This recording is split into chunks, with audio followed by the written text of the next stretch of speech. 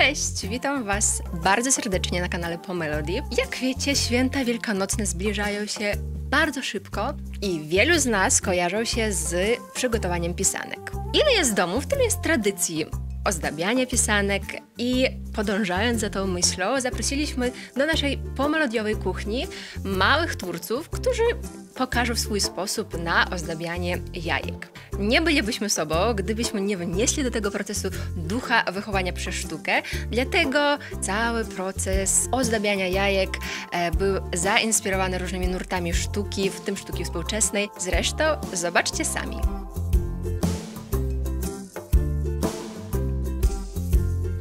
Powiedz, co było pierwsze? Jajko czy kura? Jajko. Kura, bo kura znosi jajka. Jajko. Jaj. Kura. Bo... Bo kura robi jajka. Kura. A skąd się bierze kura? Z farmy. A w farmie e, skąd się bierze kura? Mm, Nie wiem. Kiedy maluje się jajka? Wielkanoc. Mhm. Święto wielkanocne. Na Wielkanoc. Y, Na Wielkanoc. A powiedz, czy wolno malować te jajka kiedy indziej? Nie. Mm, Też w innych dniach, ale szczególnie na Wielkanoc. Tylko na Wielkanoc. No, można jak chce się, ale generalnie nie można. Czy lubisz malować w ogóle w domu?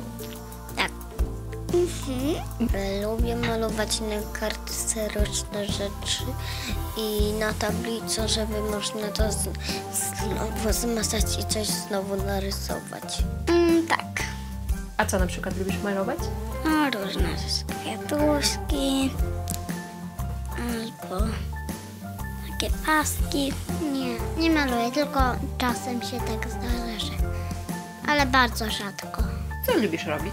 Pisać, bo już umiem napisać, a nie lapisem. A powiedz, czy są jakieś miejsca w domu, gdzie nie wolno malować? Nie można na kanapie, na pianinie. Na podłodze nie. Ani na fotelu.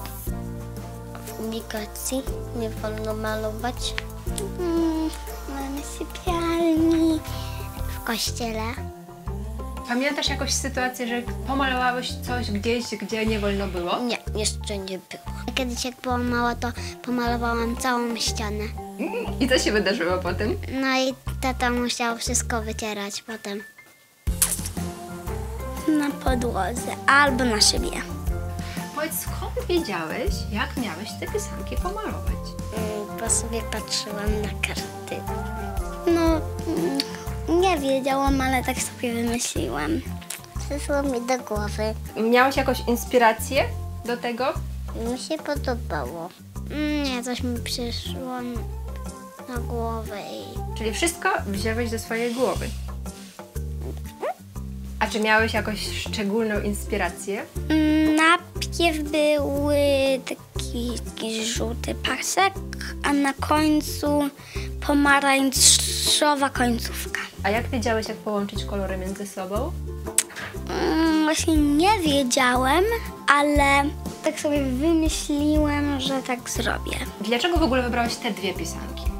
Bo były z nich najładniejsza, resztę się stukła. Ta mi mogła się stuknąć, bo była mała. I taka była letka.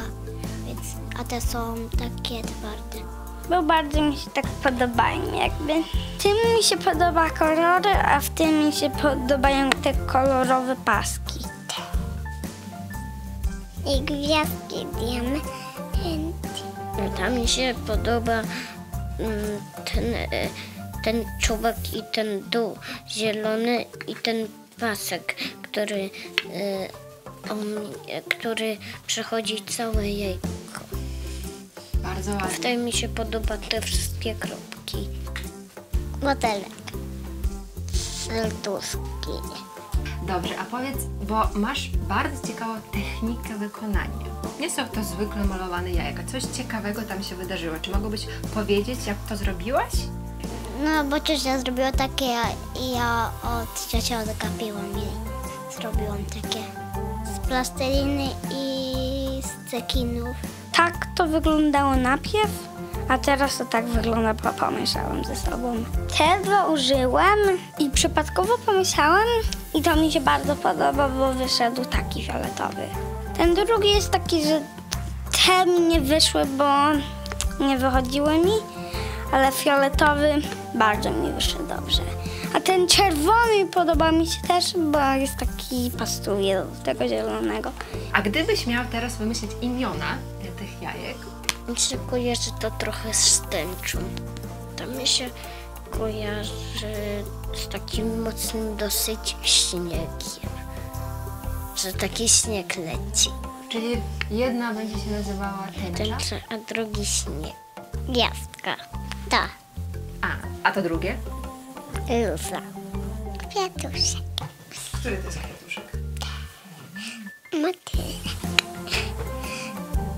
To by byłoby no mieszany kolor, tak by, a to paseczek. Zosia i Aniela. A kto jest Zosia, kto Anielo? Nie wiem. To jest Aniela, to jest Zosia. Jak sami wiedzieliście, ten proces jest bardzo przyjemny i nie wymaga e, dużo przygotowań. Więc i tak musicie jakoś pomalować te jajka, prawdopodobnie, więc dlaczego nie zaszaleć? Wpuśćcie do swojego domu ducha wychowania przez sztukę, a wraz z nim radości i swobody. A na czas świąt, jak i zawsze, życzymy Wam przede wszystkim dużo zdrowia. Buziaki!